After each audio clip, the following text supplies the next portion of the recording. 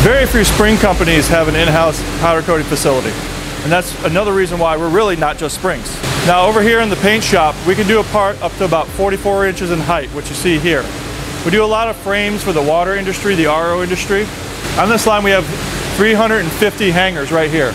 So as far as these frames go, we can probably hang about 120 frames at a time.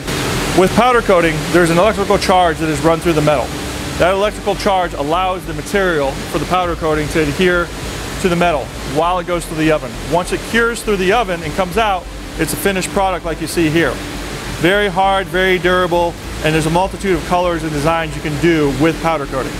This is being set up to go through the washer, which is back there. It'll come back through and go through the spray booth, which you see over here, and then it will go into the oven for curing.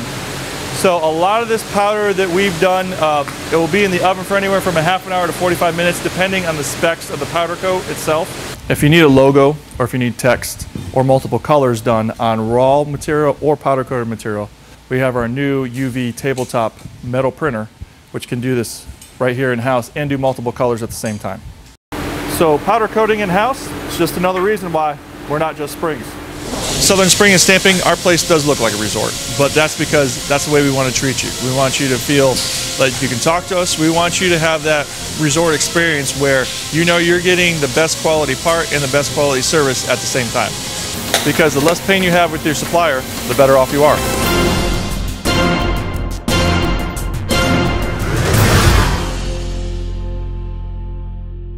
Come and see a full video tour of our factory at notjustsprings.com.